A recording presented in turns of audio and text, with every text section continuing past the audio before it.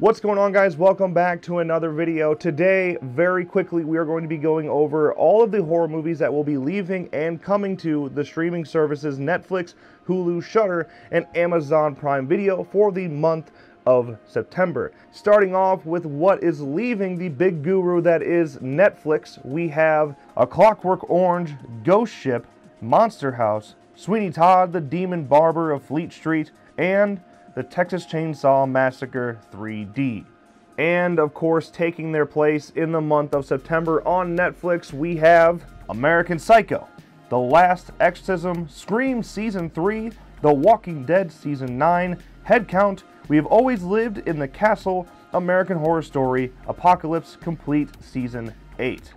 And for the month of September, our Netflix recommendation is We Have Always Lived in the Castle. Released in 2018 from the writers of The Haunting of Hill House and starring actors like Taissa Farmiga and Crispin Glover, We Have Always Lived in the Castle follows the arrival of a cousin with ulterior motives while he threatens the claustrophobic and isolated world of two sisters and their uncle.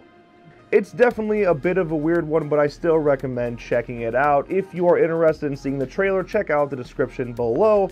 But now it's time to move on to what is leaving the platform of Hulu. We have Alien vs. Predator, An American Werewolf in London, Catacombs, Seven, and With a Friend Like Harry. So definitely some great films being lost on Hulu this month, but they have a ton to add, including The Amityville Horror, The Dark Half, Disturbing Behavior, Evil Dead, Evil Dead 2, Firstborn, The Goonies, Invasion of the Body Snatchers, The Last Exorcism, The Monster Squad, Poltergeist 2, The Other Side, Pumpkinhead, Pumpkinhead 2, Blood Wings, Ravenous, The Purge, Complete Season 1, Into the Dark, Pure Episode 12 Season Finale, and American Horror Story Apocalypse, Complete Season 8.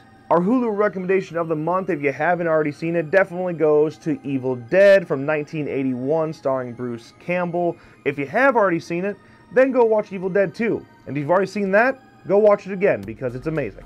Alright, now moving on to Amazon Prime Video and what is leaving the platform this month. And trust me, this one's going to hurt a little bit. We have The Amityville Horror, Friday the 13th, Friday the 13th Part 2, Friday the 13th Part 3, Friday the 13th Part 4, Friday the 13th Part 5, Friday the 13th Part 6, Friday the 13th Part 7, Friday the 13th Part 8. Oh, it hurts. A Blade in the Dark, Chud 2, Bud the Chud, The Dark Half, Dead and Buried, Jeepers Creepers 2, Maniac, Night of the Living Dead, Remake 2007, Night of the Living Dead Resurrection 2013, Invasion of the Body Snatchers, and The Silence of the Lambs. So like I said, that one hurt a little bit, but again, Amazon Prime tries to make up for it a little bit by adding a lot of new horror films, including American Horror Story Apocalypse Complete Season 8, Buried Alive, Cloverfield, Darkness Falls, Dreamcatcher, Event Horizon, Gothika, Insomnia, Tales from the Dark Side, the movie, What Lies Beneath.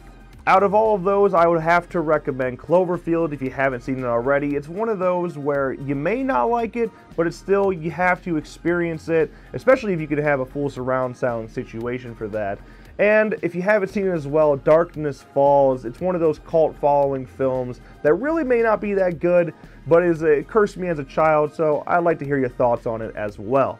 And now moving on to Shudder, there's actually nothing leaving the platform that we could find, but quite a bit coming. We have Train to Busan, Hand of the Ripper, Twins of Evil, Vampire Circus, the original Shudder series Creepshow, the Taking of Deborah Logan, The Cut of the Dead, The Wrath, and Hell House LLC 3, Lake of Fire.